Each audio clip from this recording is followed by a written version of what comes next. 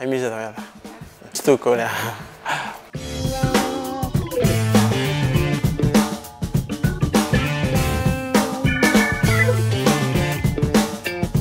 want to help my family with uh, provide for them. I choose Castres because uh, I think it's a good club, uh, lots of values. Uh, also can uh, improve my rugby. Been uh, hard for me. Sevens is uh, uh, more space, and uh, I think uh, 15s is uh, not enough space for you. But for me, I found it easier with the help from the other boys and coaches. I find comfortable.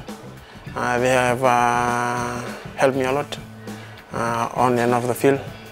Uh, yeah, it's uh, good to to have them around. I think the town is uh, uh, really familiar for me. It's uh, just like in Fiji, it's not that big, and I love the town. Really love the team. Uh, have to know each other, and uh, yeah, it's been a privilege.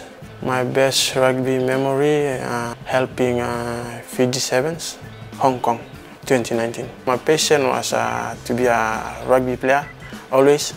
Um, start learning after when uh, our day off. Usually go out and cut uh, other boys' uh, yeah.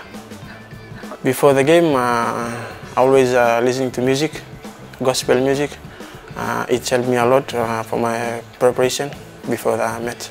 Love, caring, maybe funny. I'm happy to to be here again in Castres for the next uh, two years, and uh, I love uh, playing here in Castres, and um, I'm looking forward to the next uh, two seasons for me.